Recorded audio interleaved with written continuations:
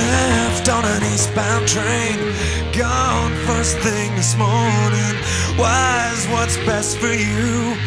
Always the worst thing for me.